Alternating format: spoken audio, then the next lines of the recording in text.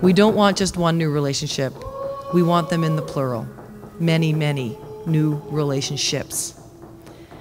I am committed to regular meetings and open, honest, and frank communication with all of you and your leadership, and to ensuring that you have the capital that you need to have the financial tools to secure your community's economic future.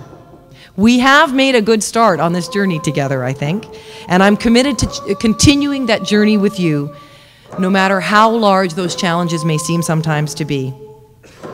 How can we demonstrate that change for the better is truly possible? How can we work together to demonstrate the value of collaboration and honest and frank dialogue to a future generation of leaders? How can we be their role models so that when they take over, they do a better job than we have?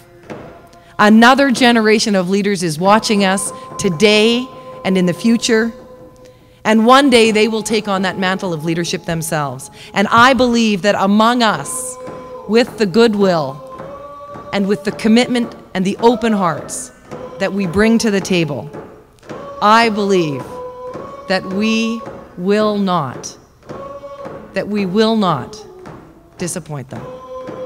Thank you very, very much. I'm honored by your time today.